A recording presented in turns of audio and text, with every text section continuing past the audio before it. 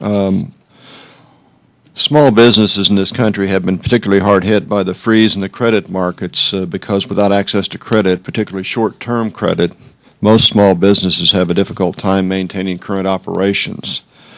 This seems to be exactly the time that the Small Business Administration should be able to be there to ensure that businesses have access to credit. But the amount banks have loaned through SBA's General Business Loan Guarantee Program has fallen substantially over the past year.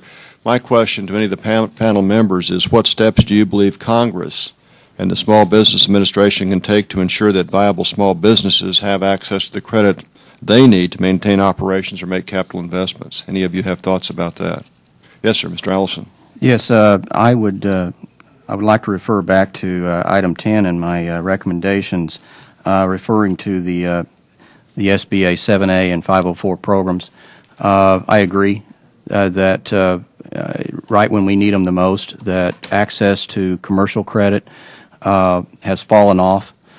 Uh, not that uh, you know you could blame any one particular thing, but this is a great concern. Certainly. Uh, Main Street needs SBA lending, and and frankly, commercial banks, uh, because of the the current shift towards more regulation, more scrutiny, uh, which we can certainly understand given where we've been over the last year in, in the financial markets. But let's don't overreact and take it all out on the small business sector. And, and really, this is what I see as, as a, a, probably one of the greatest problems in the, the, the capital end of the problem is uh, you've got local banks that are sitting on money. Um, even with SBA uh, taking the majority of the risk. However, I, I do recommend that SBA uh, uh, take a, a, greater percentage of the uh, underwriting of these loans uh, in this in at least the interim period, and that uh, we uh, think in terms of lowering qualification standards, that we exempt fees, anything we can do to streamline it and make make money more accessible and and quickly. Any of the other panel members have a comment?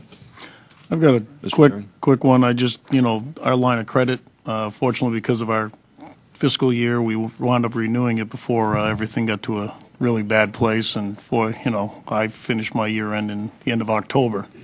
So my bankers, quite frankly, even made statements that, you know, thank God you're renewing your line of credit right now because it, it could change if we were looking at this in the first quarter or, or in the middle of next year, and it could be altogether different next year. And so I think, uh, um, you know, unfortunately, small business isn't getting a direct line of the bailout monies, um, and so anything we can do to help help allow our lenders the ability to give us the needed lines of credit to continue to operate our business would be uh, very valuable.